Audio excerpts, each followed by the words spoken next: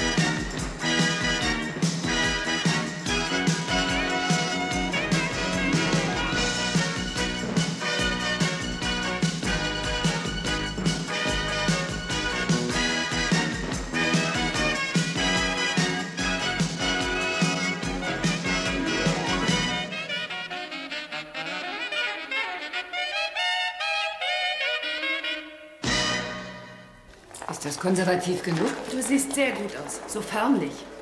Das ist hoffentlich das Richtige. Wer weiß, wie ich aussehen sollte. Und so wie ich mich fühle, könnte ich genauso gut nackt dastehen. Ich weiß. Bei der Vorstellung, dass ich diesen Potter wiedersehen muss, kann ich mich übergeben. Ich weiß. Nein, das weißt du nicht. Aber es ist schon in Ordnung. Auf jeden Fall handelst du richtig, Christine. Das weiß ich. Und du weißt es auch. Ja, ich denke schon. Aber ich habe Angst. Mir schlägt das Herz bis zum Hals und meine Hände sind wie Eis. Hör mal. Oh.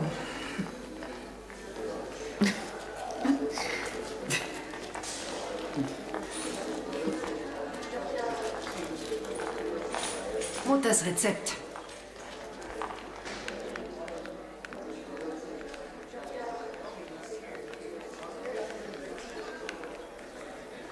Sergeant, ich freue mich, Sie zu sehen.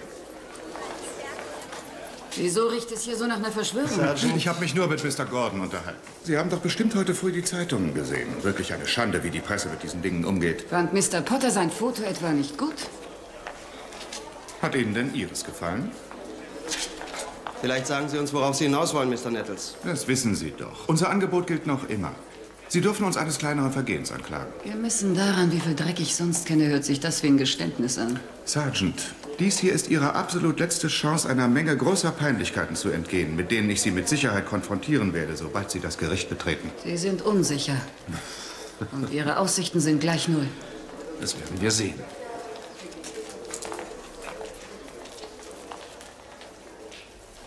Wollen wir? Ich wünsche dir viel Glück. Danke, Mary Beth.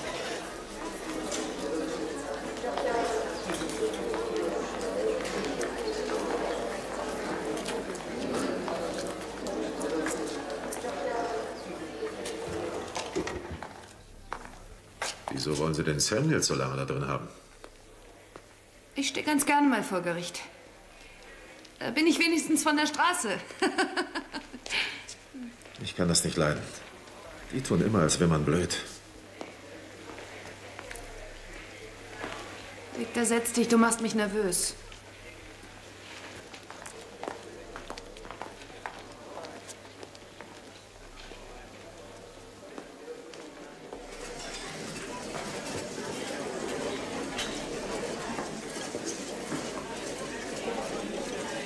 Nettles weiß, wieso er mich nicht ins Kreuzverhör nimmt. Er hat was vor. Sie haben recht, er baut sie sich erst im Verteidigungsplädoyer ein. Er hat ganz schreckliche Augen. Sie sehen aus wie die von Charles Boyer. Der aus Gaslight. Wie er Ingrid Bergmann davon überzeugen will, dass sie die Verrückte ist. Entschuldigen Sie, ich muss noch mal in die Kanzlei. Ich bin um Viertel vor wieder da.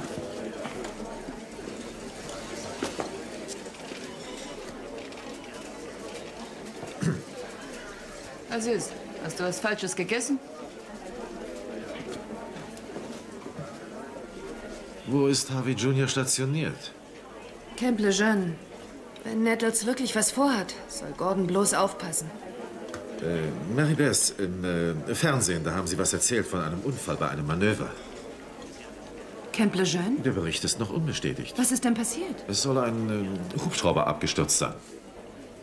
Und das musstest du unbedingt erzählen, ja? Noch dazu unbestätigt, Mary Bess. Es sind Tausende von Jungs, die da leben. Ja, ganz recht. Außerdem bin ich davon überzeugt, dass Harvey Jr. so glücklich ist wie ein Schwein in der Pfütze und mit schwerem Gepäck durch den Schlamm Du hast marschiert. bestimmt recht. Ich rufe an und prüfe es nach. Ich werde auch Harvey gleich anrufen. Wenn er die Nachrichten gesehen hat, macht er sich Sorgen.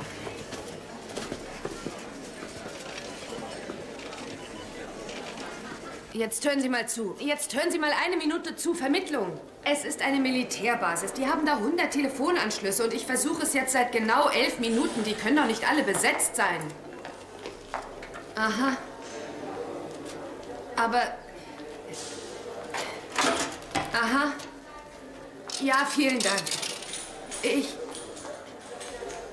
Ich danke Ihnen vielmals, Sir. Ja. Ha? Ja. Ja, ich wünsche Ihnen auch einen schönen Tag.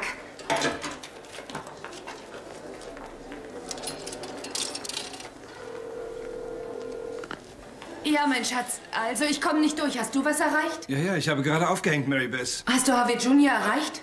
Harvey Juniors Einheit gehört jedenfalls zu denen, die an dem Manöver teilnehmen. Und was sagen Sie über den Unfall? Sie bestätigen, dass ein Hubschrauber vermisst wird.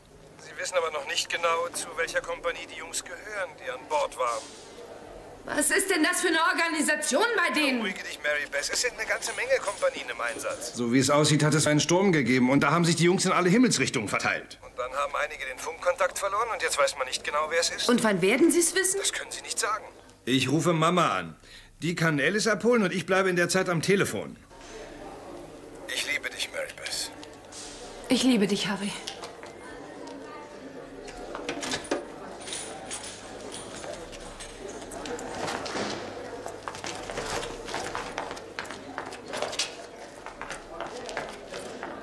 Geh doch lieber nach Hause, Mary Bess. Wir kommen hier auch ohne dich klar. Harvey weiß, wo er mich erreichen kann, wenn er was hört. Ich lasse Sie als Erste in den Zeugenstand rufen. Bleiben Sie in der Nähe. Kommen Sie, Sergeant, wir müssen uns setzen. Danke, Mary Bess. Solche Sachen kommen nun mal vor. Es geht ihm gut. Bestimmt hast du recht.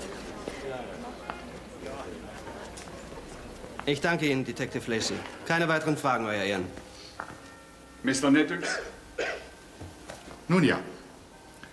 Sie haben uns eine sehr, sehr interessante Geschichte erzählt. Es war die Wahrheit. Seit wann arbeiten Sie mit Sergeant Cagney zusammen? Seit acht Jahren und drei Monaten, Sir. Polizeikollegen stehen doch füreinander ein, nicht wahr? Was unsere Arbeit angeht, auf jeden Fall. Und sie gehen miteinander durch dick und dünn. Der eine schützt den anderen, wenn Lebensgefahr besteht. Sie würden doch alles für Ihre Kollegin tun. Einspruch. Die Frage ist zweideutig und zudem unklar. Stattgegeben. Wissen Sie noch, wann Sie zuletzt für Ihre Kollegin gelogen haben? Einspruch. Stattgegeben.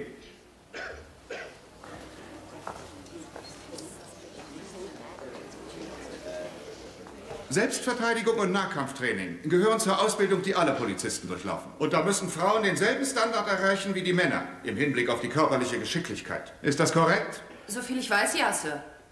Haben Sie und Sergeant Cagney diese Geschicklichkeit während Ihrer Zusammenarbeit einsetzen müssen? Ja, Sir. Aber es ist von Situation zu Situation verschieden. Wir müssen die Lage jeweils neu beurteilen. Sie wurden aber schon mit kräftigen Männern fertig, die sich einer Festnahme widersetzten. Wir sind ja auch gewöhnlich zu zweit und bei der Arbeit tragen wir unsere Waffe. Ah, das ist ein guter Punkt. Sergeant Cagney hat ausgesagt, dass Ihre Waffe sich in einem Schrank befand, nur wenige Schritte von Ihrem Bett entfernt. Nehmen wir an, sie wurde wirklich vergewaltigt. Haben Sie sie je gefragt, warum sie die Waffe nicht benutzt hat? Wir haben Anweisungen, jede Situation... Würden Sie zu bitte meine Frage beantworten? Nein, Sir, ich habe Sie nicht gefragt. Sie hat Danke, gesagt, damit Sie ist meine Frage beantwortet. Keine weiteren Fragen mehr. Sie dürfen jetzt den Zeugenstand verlassen.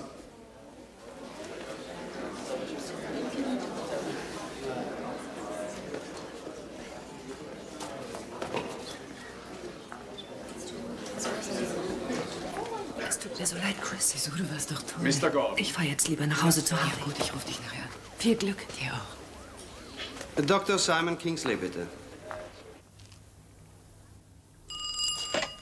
Hallo? Schatz, ich komme jetzt nach Hause.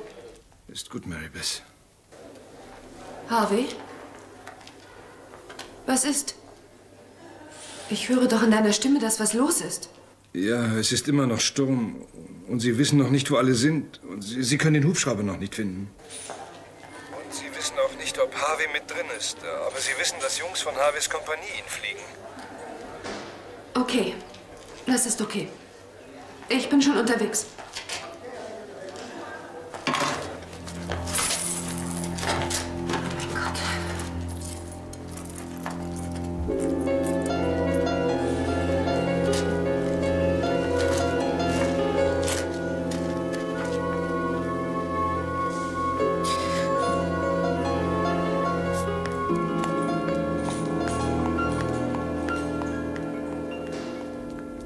Selbstverständlich haben alle Tankstellen des Landes auf die gestrige Preiserhöhung des Rohöls reagiert. Michael, ich kann nicht sehen. Kannst du dich zur Großmutter setzen? Komm, mein Kleiner, komm her zu mir. Noch wichtiger allerdings sind die Fragen nach dem längerfristigen Trend. Viel dürfte dabei von Harvey, dem stell doch mal einen anderen Sender ein. Das Wir sind die einzigen von landesweiten Nachrichten. Die anderen berichten nur über Lokales. Wer interessiert sich denn jetzt dafür? Kommt Harvey denn im Fernsehen? Nein, das glaube ich nicht, Michael. Wir wollen nur mal abwarten, ob Sie was über den Unfall sagen. Schatz, was ist da mit der Fernbedienung los? Ich denke, sie ist repariert. Ich mache auf. Nein, nein, ist schon gut. Ich gehe. Setz dich. Einer Beruhigung zeige. Die Arbeitslosenquote hat sich verringert. Die Zahl der neuen Stellen ist unerwartet deutlich. Ma'am, sind Sie Mrs. Harvey Lacey?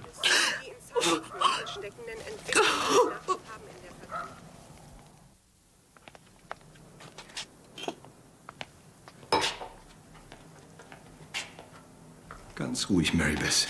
Er hat gesagt, Harvey ist vermisst. Vermisst. Ich habe gehört, was der Captain gesagt hat. Sie können die Absturzstelle nicht erreichen und niemand weiß genau, was mit Harvey ist. Das ist alles, Mary Beth. Du sollst nicht was hinzufügen. Das Wasser ist was- nicht heiß genug. Auf diese Weise wird das Geschirr nie im Leben sauber. Mary Beth?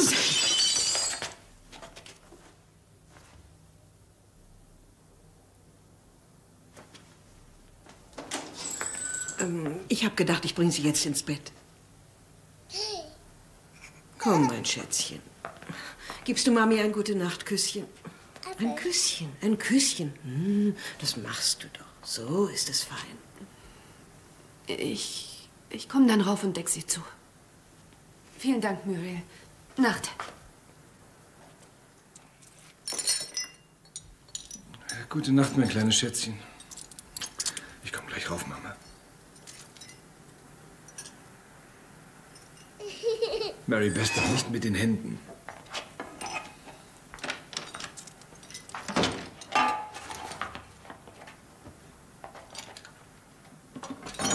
Sieh mich nicht so an, Harvey. Ich kann nicht. Mama? Tante Christine ist da. Ich habe sie nicht angerufen. Mama. Ich muss gehen. Ich sag ihr guten Abend.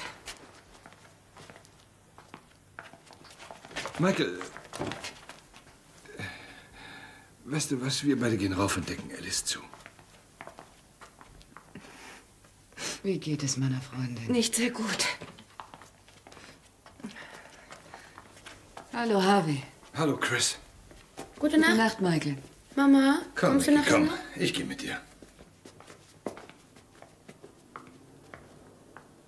Harvey hat gesagt, dass man nichts Genaues weiß und dass sie Ich weiß noch genau, wie er sich angefühlt hat, als er noch ein Baby war. Er war so stark, er hatte so feste kleine Arme. Also, weißt du, er. Alice ist ganz weich, weißt du. Aber, aber Harvey Juniors kleine Arme um meinen Hals war das Süßeste, was du dir denken kannst. Mary Beth. Dann wurde er eine lange, dünne Bohnenstange. Tja. Aber er hatte Glück, er hat zum Beispiel nie diese, diese Jugendakne gekriegt. Er hat nie einen Pickel gehabt. Ich hab die gehabt und Harvey auch, aber Harvey Junior nie. Wirklich nicht. Er wurde so ein langer Schlags, lang und dürr. Aber sein Gesicht war immer rein.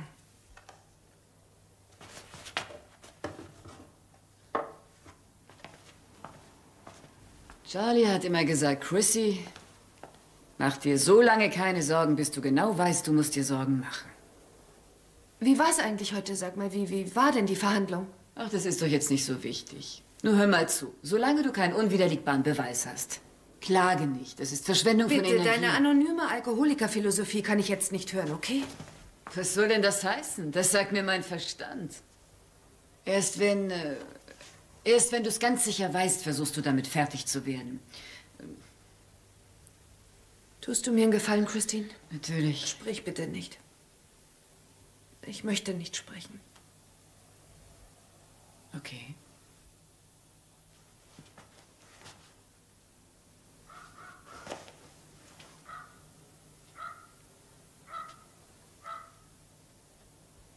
Lass mich einfach nur neben dir sitzen. Was meinst du?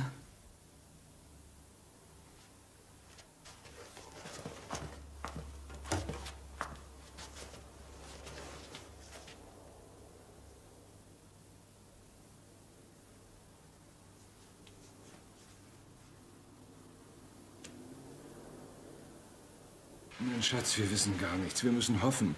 Und wir müssen glauben, dass sie Harvey finden. Als ich damals bei der Army war, gab es auch Jungs, die vermisst gemeldet wurden. Und irgendwann marschierten sie ganz fröhlich wieder in die Kaserne. Sie waren vielleicht von der Kompanie getrennt worden, wurden falsch identifiziert. Oder sowas, verstehst du? Chris ist gegangen. Michael, zieh bitte deinen Schlafanzug an. Es ist spät. Mama, Daddy sagt, sie finden Harvey sicher. Glaubst du, dass sie Harvey finden? Glaubst du, dass er wiederkommt, ja? Denkst du, dass er tot ist? Halt den Mund, halt den Mund, Michael!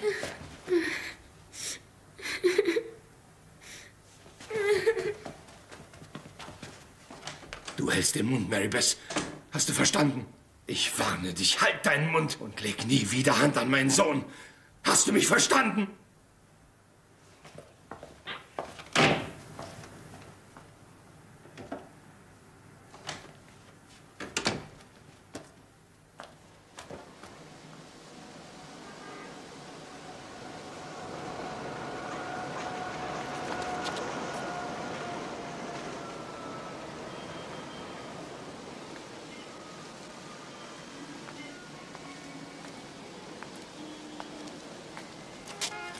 Du hast gesagt, du willst spazieren gehen. Das war vor vier Stunden. Ich habe dich überall gesucht. Ich habe sogar die Leute unten geweckt, die jetzt in unserer alten Wohnung wohnen. Immer wenn wir ihn nicht gefunden haben, hat Harvey Jr. sich hier oben versteckt. Ich dachte immer, er geht zu Ronnie Akino, das war sein Freund. Aber sein Lieblingsplatz war da beim Schornstein. Er hat's mir erst gesagt, als wir von hier weggezogen sind. Ich habe Michael in seinem ganzen Leben noch nie geschlagen. Aber irgendwie habe ich nie etwas dabei gefunden, wenn ich Harvey Jr. mal einen Klaps gegeben habe oder so. Ich weiß, ich habe einmal, als er drei war und ich wegen eines Mordfalls Überstunden gemacht hatte, da, da bin ich nach Hause gekommen. Du hast noch gearbeitet und Muriel musste weg. Und ich, ich war total fertig. Und er, er wollte nicht einschlafen. Er wollte einfach nicht einschlafen. Da bin ich in sein Zimmer gegangen, da unten, weißt du, und hab ihn verhauen. Ich wollte das nicht. Ich hab's nicht gewollt. Ich, ich wusste nur einfach nicht weiter. Dann habe ich mich bei ihm entschuldigt, hundertmal. Aber den Ausdruck in seinen Augen, den werde ich nie vergessen.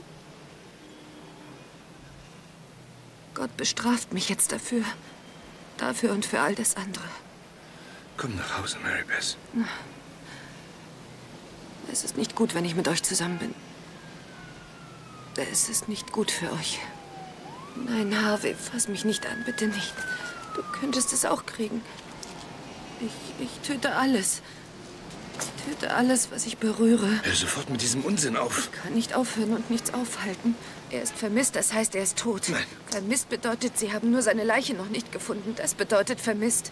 Gott hat mir meinen Sohn genommen, weil er mich bestrafen Das ist wollte. doch Wahnsinn. Ich wollte alles. Dich und die Arbeit und die Kinder und das Haus und das College für die Kinder und den Mikrowellenherd. Habgierig. Gierig wie die Frau des Fischers in der Geschichte, in dem Märchen, wo der Fisch zu ihr sagt, du hast drei Wünsche frei. Am Anfang, da will sie ein schönes Haus haben. Und dann wünscht sie sich schon einen Palast. Aber dann wünscht sie sich Gott zu sein. Peng. Und sie ist so arm wie am Anfang, Harvey. Sie wollte zu viel. Und das wollte ich auch. Und deswegen hat Gott mir meinen Sohn genommen. Niemand hat jemanden genommen, Mary Beth. Alles, was wir wissen, ist, dass Harvey vermisst ist. Ich weiß es. Eine Mutter spürt das. Mein Sohn ist tot. Nein. Tot. Sag doch so etwas nicht. Es gibt Hoffnung. Es gibt Gebete. Es gibt Tatsachen. Tatsache ist, ich bin nicht mal zu seiner Abschlussfeier nach der sechsten Klasse gegangen. Ich habe ihn bestraft, als der Lehrer gesagt hat, er hätte abgeschrieben, aber er hatte gar nicht Du, abge... du, du und ich bin ich nicht mehr da. Was ist denn mit der übrigen Familie? Denkst du, du bist die Einzige, die Angst hat? Ich lass nicht zu, dass du immer sagst, er ist tot. Geh wieder nach Hause, Harvey. Ich weiß, du bist gut und du lebst. Ich bringe dich vielleicht auch um, Harvey. Ich bin es, verstehst du das? Es ist etwas, etwas Bitteres an mir. Ich habe es getan. An mir klebt überall der Tod. Nein, nein, nein, nein, nein, nein, nein, nein, nein. Ich weiß nicht, was ich dir sagen soll, Mary Beth, aber ich gehe zurück zu Michael und Alice. Ich brauche dein Gerede über den Tod nicht. Alle meine Kinder leben noch.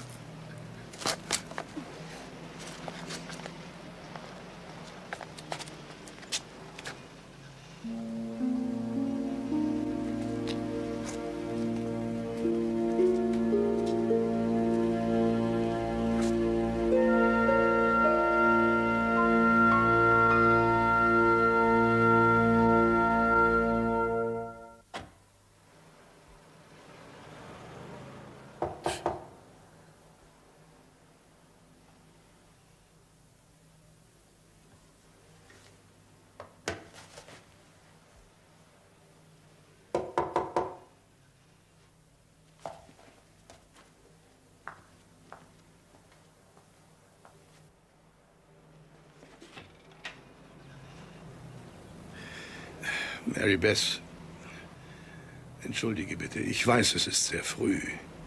Ich hoffe nur, ich habe nicht das ganze Haus geweckt. Ich war sowieso wach. Es ist so schwer, alleine zu warten. Kann ich mit euch warten?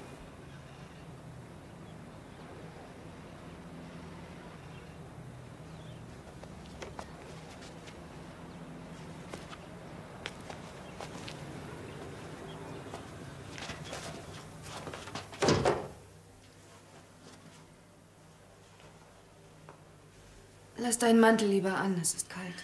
Das Feuer ist ausgegangen. Nein, nein, das macht mir nichts aus. Wie geht es dir? Geht es dir gut? Nein, weiß Gott nicht.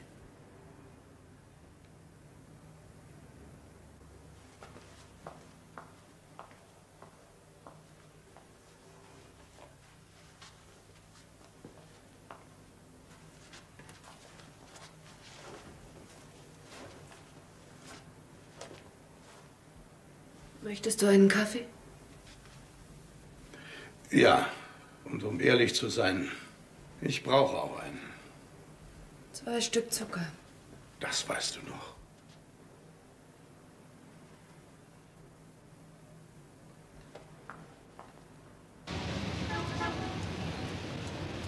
Wir haben uns bei einem französischen Filmfestival kennengelernt. Es gab einen ausgesprochen erotischen Film. Der Film hatte sie offensichtlich sehr erregt, denn als wir später essen gingen, sprach sie dauernd davon.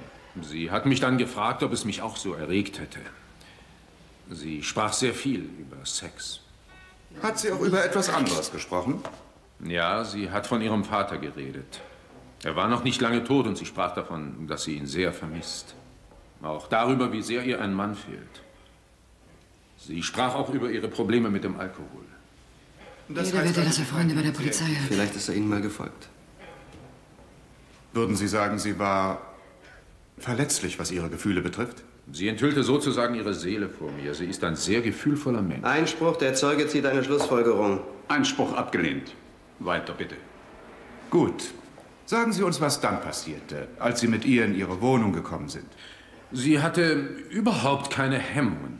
Und sie war sehr verführerisch. Ich habe sowas noch nie erlebt. Sie hat mich vollkommen ausgezogen. Und was geschah dann?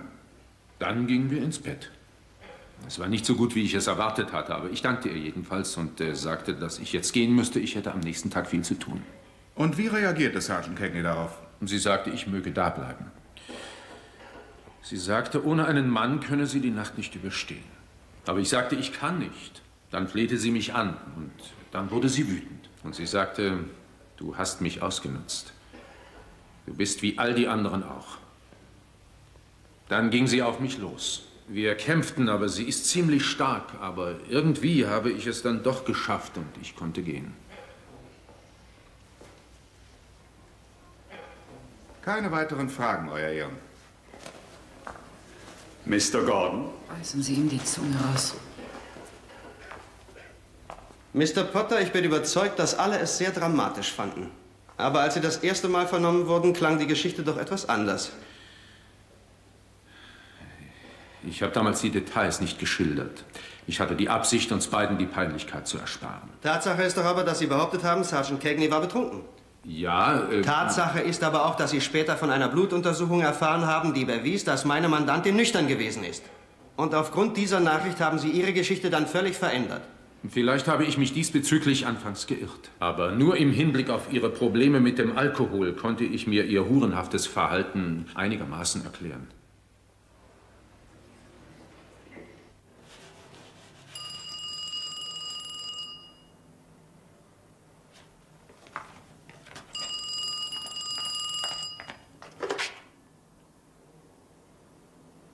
Mary Beth? Christine? Ja. Gibt es was Neues? Nein, nichts. Und wie geht's dir? Wie läuft deine Verhandlung? Ähm, es geht so, man wird sehen. Wer ist denn bei dir? Muriel und Mr. Zibiski. Wer? Mein Vater. Gut. Das kann man sehen, wie man will. Ähm, also ich komme, wenn hier alles vorbei ist, okay? Halt die Ohren steif, ja? Ja. Gut, also da,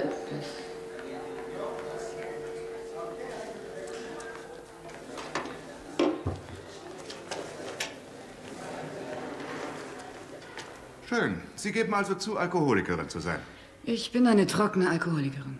Ich bin bei den anonymen Alkoholikern und habe seit acht Monaten nichts Aber getrunken. bevor Sie zu den anonymen Alkoholikern gingen, hatten Sie Alkoholprobleme. Einspruch, das ist irrelevant. Wenn Euer Ehren erlauben, der Grund für meine Fragen wird sich sehr bald zeigen. Fahren Sie fort. Antworten Sie bitte auf die Frage. Ja, deswegen bin ich ja hingegangen. Seit wann hatten Sie denn Ihre Trinkerei nicht mehr im Griff? Das weiß ich nicht genau. Hat Ihnen denn vor den Anonymen schon einmal jemand gesagt, dass Sie diese Probleme hätten? Ja. Und haben Sie demjenigen geglaubt? Nein. Das nennt man doch dann bei den anonymen Alkoholikern Selbstbetrug. Ja, das ist es auch. Die meisten Alkoholiker tun das. Sie haben sich also selbst etwas vorgemacht, eine Zeit lang. Sie haben sich geweigert, sich einzugestehen, dass Sie Alkoholprobleme hatten. Stimmt das? Ich nehme es an, ja. Und jetzt wollen Sie es nicht zugeben, dass auf Ihre Initiative hin mein Mandant mit Ihnen geschlafen hat? Das ist eine Lüge. Er hat mich vergewaltigt.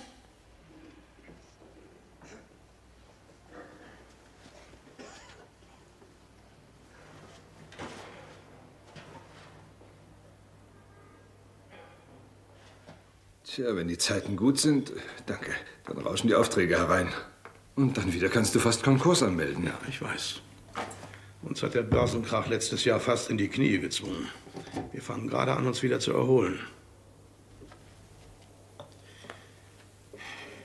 Ich habe vorige Woche erst mit Harvey Jr. darüber gesprochen. Ach ja?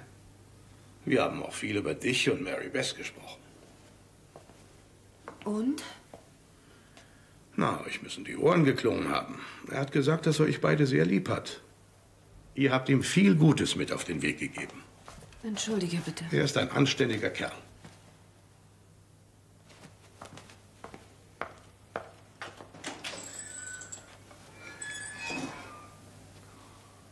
Es ist die Hölle für Sie. Das ist es für uns alle. Ja. Er hat Sie also niedergezwungen. Warum kamen Sie nicht auf die Idee, Widerstand zu leisten? Ich sage es jetzt zum hundertsten Mal. Er hat damit gedroht, mich umzubringen. Er war aber doch nicht bewaffnet. Aber Ihre Waffe lag in einem kleinen Schrank in der Nähe. Er war sehr stark. Und ich hatte den Entschluss gefasst, nicht mein Leben zu riskieren. Hatten Sie das Gefühl, vergewaltigt worden zu sein, als Mr. Potter Ihre Wohnung verließ? Oder haben Sie sich erst später dafür entschieden, das zu behaupten? Wenn Sie vergewaltigt werden, dann wissen Sie das. Nehmen wir mal an, jemand bricht in Ihr Apartment ein und Sie erwischen ihn, als er gerade weg will. Würden Sie dann nicht mit Ihrer Waffe hinter ihm herlaufen? Ich vermute, das würde ich tun. Aber als Mr. Potter ging, haben Sie nichts unternommen.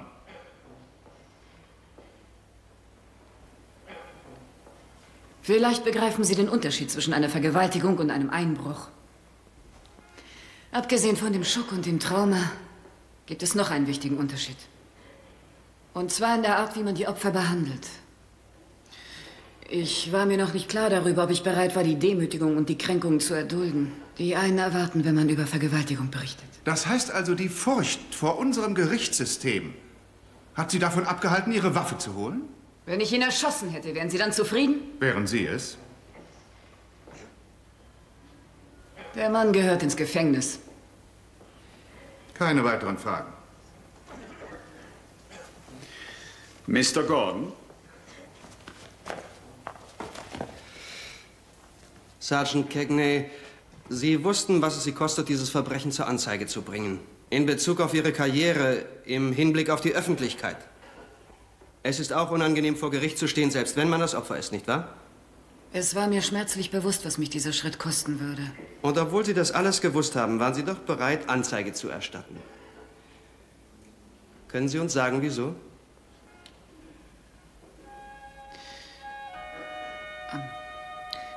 Ich dachte an all die Frauen, die ich äh, versucht hatte zu beruhigen, indem ich ihnen etwas vormachte. Ich habe ihnen gesagt, es sei gut, wenn sie als Zeugin aussagen würden. Und dann dachte ich auch an meine Karriere. Denn solange ich überhaupt arbeite, werde ich bei der Polizei arbeiten. Und ich weiß nicht, wie ich je wieder eine Frau darum bitten soll, auszusagen gegen den Schweinehund, der sie vergewaltigt hat. Wenn ich nicht den Mut habe, selbst durch diese Hölle zu gehen.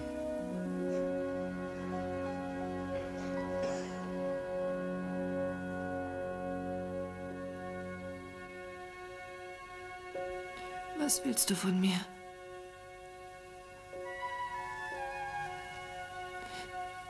Ich gebe dir alles, was ich habe.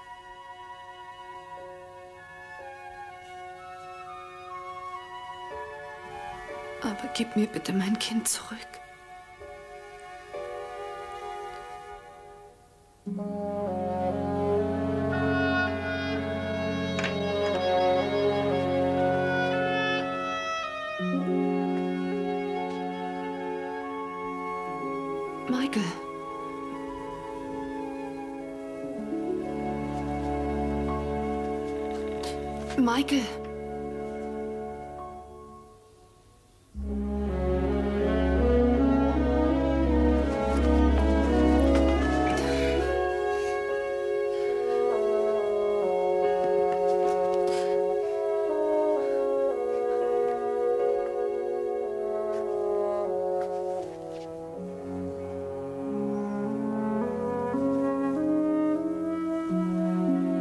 Chris ist da.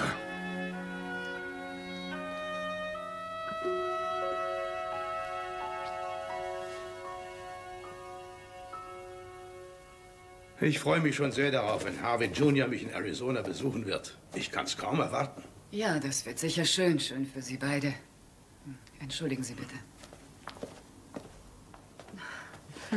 Immer noch nichts. Der Staatsanwalt hat aber gemeint, heute noch. Naja, macht nichts. Naja, macht nichts, Christine. Es ist wichtig für dich, für deine Bess, Karriere, für Mary deine... Bess, bitte nein, denk gar nicht darüber nach, hörst du? Die rufen mich an, wenn die Geschworenen soweit sind. Wie geht es dir? Wie kann es uns schon gehen? Wir hoffen auf das Beste, Sergeant Cagney. Du weißt doch, was Hoffnung ist, Christine. Es ist das, wovon die kleinen Kinder vor Weihnachten leben. Bess, Nein, ich meine es ernst, Harvey. Hoffnung ist ein Ding mit Federn. Das lernte ich auf dem College, statt bei meiner Familie zu sein. Ich habe es gehasst, dieses Gedicht Hoffnung ist ein Ding mit Federn. Es fliegt davon.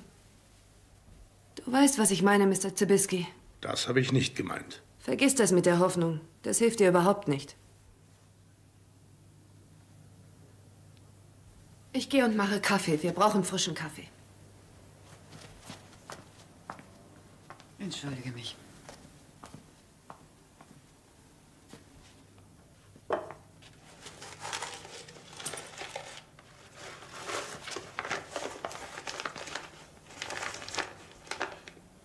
Eine schwere Zeit für dich. Hm? Könnte kaum schwerer sein. Ich habe gedacht, ich wäre tapferer. Ich dachte, ich wäre so, so stark. Und ich dachte auch, ich wäre eine gute Mutter. Mary Beth. Das war immer das Wichtigste für mich. Eine gute Mutter zu sein. Du hast dein Bestes gegeben in jeder Situation. Das reichte aber nicht. Kein Mensch konnte mehr von dir verlangen. Es hat nicht ausgereicht. Diese Selbstvorwürfe führen nirgendwo hin. Das habe ich inzwischen gelernt. Sie lähmen dich nur. Also denk nicht mehr daran. Es zerstört mich, Chris. Ich weiß. Ich weiß das. Aber trotzdem, Marybeth, so viel Macht hast du nicht. Du hast nicht gewollt, dass das passiert. Weißt du noch Jackie Kennedy und ihr kleines Pillboxhütchen? Das blutbefleckte Kostüm? Sie stand da aufrecht und groß. Weißt du das auch noch? Sie ist nicht etwa umgefallen. Und sie sah so würdevoll... Es reicht, sei still. Harvey Jr. lebt, bis das Gegenteil bewiesen ist. Ich weiß aber, was ich sage. Nein, das weißt du nicht. Charlie hatte vollkommen recht. Solange nichts unterschrieben, besiegelt und geliefert ist, solange darfst du nicht daran denken. Ich will dich nicht beleidigen, Christine. Aber dein Vater war nicht gerade das, was die Welt als Weisen bezeichnen würde. Das stimmt. Mein Vater war nicht vollkommen. Und das ist deiner auch nicht. Also was ist jetzt? Er ist Harveys Großvater. Gib ihm endlich seine Hör bitte Chance. auf, Christine. Er hat eine Chance verdient. Ich habe mit ihm geredet. Hör auf, ich will das nicht hören. Du hast kein Recht, mit Mr. Zabisky zu reden. Was soll das überhaupt, Mr. Zibiski? Er ist nicht der Brieffreund von deinem Sohn. Er ist Dad. Er ist Pap. Er ist Vater. Und ob du es nun zugibst oder nicht, ist völlig egal. Er ist dein Vater. Ich kann nicht. Ich kann nicht. Irgendwann musst du ihm vergeben, Marybeth. Du kannst doch unmöglich immer so weitermachen. Er hat auch versucht, in jeder Situation sein Bestes zu geben, genau wie du. Es ist zu schwer. Versuch es doch.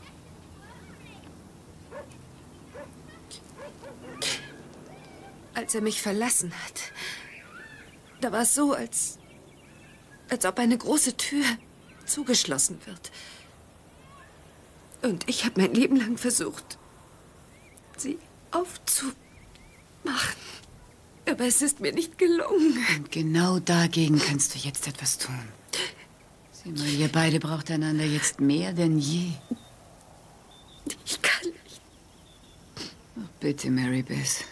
Versöhn dich mit ihm, bevor es zu spät ist. Ich weiß, wovon ich spreche. Es gibt so vieles, was ich Charlie noch gern sagen würde.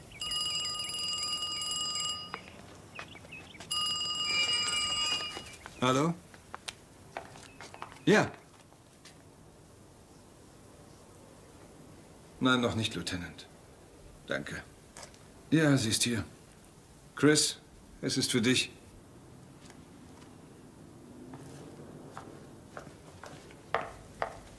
Danke, Harvey. Ja? Ja, Lieutenant. Ja?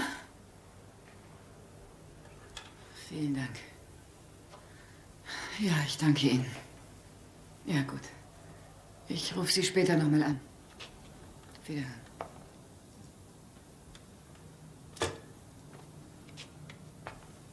Es ist vorbei. Schuldig.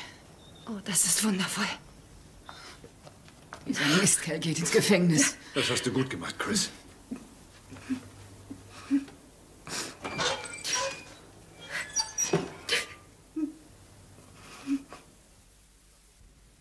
Ja, das Dach ist immer noch nicht ganz fertig und, äh, und da halt dieser Kaminabzug. Naja. Ein Haus ist nie ganz fertig.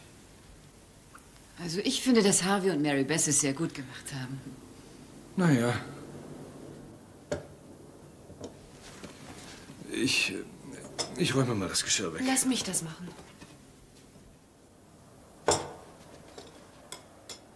Mr. Martin, willst du mir vielleicht helfen? Es würde mich freuen. Entschuldige.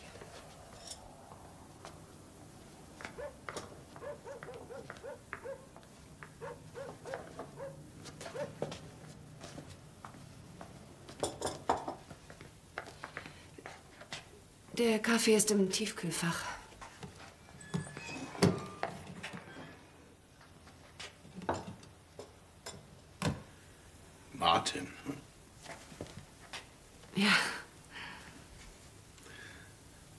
Mr. Zibiski. Es wird eine Weile dauern. Bis dahin fließt noch viel Wasser den Bach hinunter.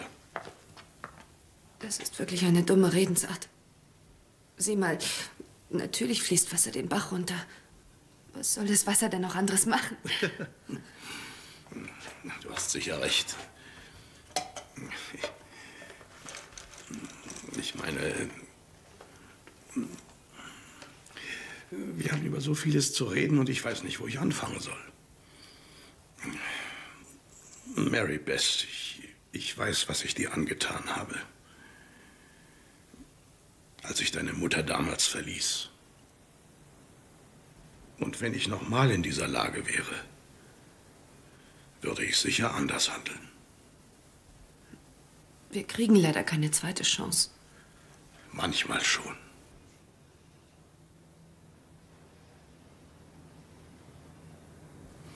Ich kann nie wieder der Daddy sein, den du gebraucht hast, als du acht warst. Das weiß ich. Aber ich kann der Vater sein, den du jetzt brauchst. Jetzt sind wir schließlich beide erwachsen.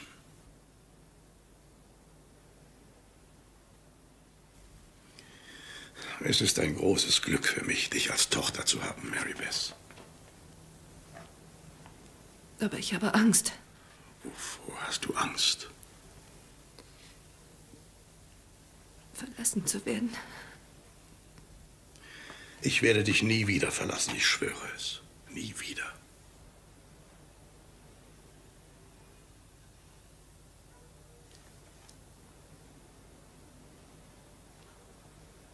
Mary Beth. Ja.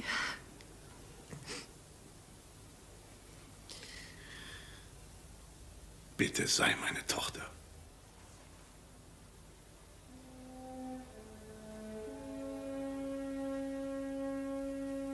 Du hast schöne Haare. Harvey Junior hat deine Haare. Die hat er von dir. Mama hatte dünnes Haar wie feine Federn. Aber Harvey Junior hatte schon kräftige Haare, als er geboren wurde.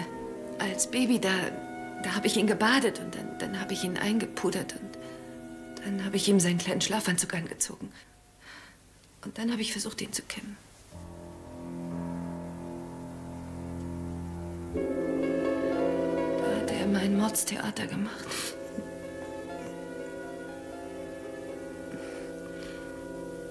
Schöne Haare wie deine.